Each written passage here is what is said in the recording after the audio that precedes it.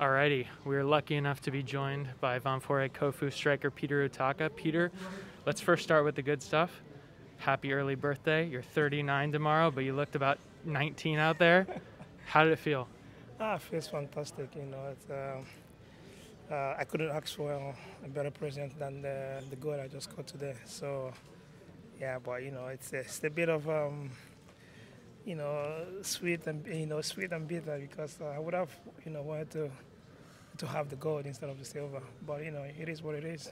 Of course, but we live life in moments, and what a moment that was to hear the Kofu fans behind you like that. What did it feel like to be back in that shirt? Man, that's um, you know I felt you know from the moment I came here I felt home. You know I've you know I've played here before. You know and all the fans and everyone along the club know what I did for them, and uh, you know getting back and first game banging in a goal you know, and in front of 50,000 people, that's amazing, bro. It's amazing. It was an, a, performance worthy of a national stadium like that. So obviously the result, not what you guys wanted, but you can take a lot of confidence from that going against the J1 champions like that, heading into the J2 season.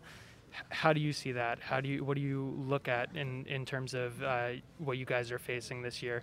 Um, what does that J2 sort of uh, challenge look like for you guys? I mean, given Marinos uh, a tough game like this gives a whole lot of um, confidence for our for our group because you know we've got so many young players, and I think from this game, there's the, they will get a lot of confidence there, you know, to you know to to go on to our next week game, which is we're playing at home, and which is another difficult game.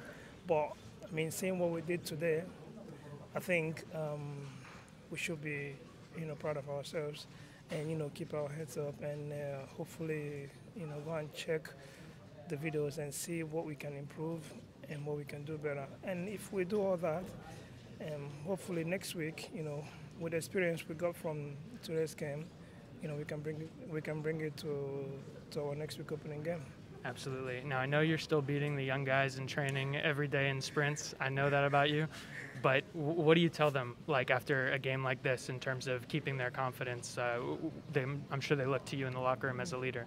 I mean, you can see from their faces and their heads down and all that. You can see the passion and uh, and the motivation that they had. But um, you know, this is football. You know, um, without without taking anything away from Marinos, they are the best team in Japan. They're the strongest team in Japan, and you know, you have to remind them like you know, this um, we gave our best and if you're playing football or, or whatever you do in life, if you give your 110%, you don't have to be disappointed anymore because I mean there's nothing else you can do. But if you cheat, eh, that's a problem. Absolutely, effort is the only thing within exactly. our control. Yeah, that's the that's the thing. When you give when you give effort and you give everything you have, you know whatever happens happens. You know because life itself don't give us every time what we want. So you just have to take and fight for everything. That's a great message to leave off on. I hope that life does give you a very happy 39th birthday. Yeah, yeah, thank, thank, you for joining us and good luck so this season. Thank you so much. Thank you for having me. Great to see you.